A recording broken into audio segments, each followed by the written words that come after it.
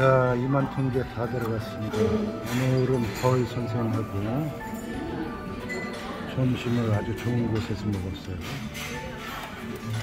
선생님 손만 나오겠죠?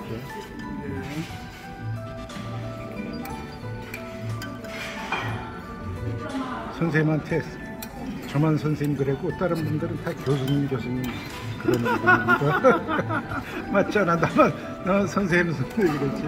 에. 입자루에 그 부분이 켈로스 형성 물질, 성초 유한 물질이 가장 많으니까 입자루 아래를 비스듬히 해줍니다.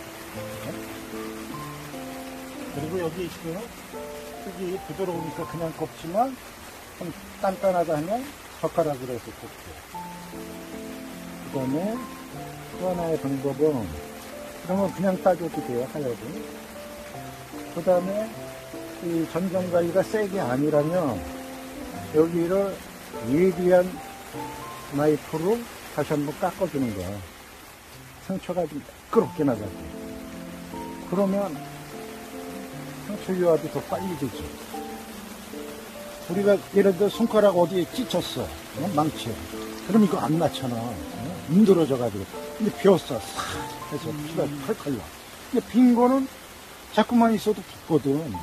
그 원리거든요. 야, 설명 기가 막히게 하네.